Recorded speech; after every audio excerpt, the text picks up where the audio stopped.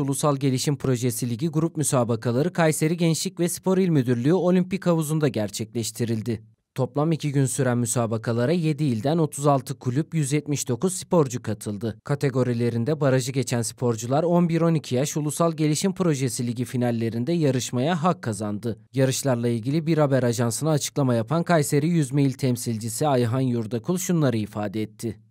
Merhaba, ben e, Ayhan Yurdakul, Kayseri Yüzme İl Temsilcisiyim. Bugünkü yarışlarımız e, 11-12 yaş Ulusal Gelişim Projesi e, Ligi. Grup müsabakaları adı altında geçiyor. 6 merkezli ilden bir tanesini bizimkinde gerçekleşmiş bulunmakta. E, toplam 29 ilin katılımıyla beraber 36 tane kulüp, e, 179 e, sporcuyla gerçekleşmiş bir yarış. Buradan e, bu grup müsabakalarından ayrılacak kişiler e, tarihi belli olmamakla beraber finalleri gerçekleştirecekler. 11-12 yaş e, bizim için önemli. Neden önemli derseniz sporcu eğitim merkezlerimize katılım yaşı açısından çok değerli bir yaş. İlerleyen durumlarda Türkiye Olimpiyat Hazırlık Merkezlerine de katılımını sağlayabilecekleri bir yaştır.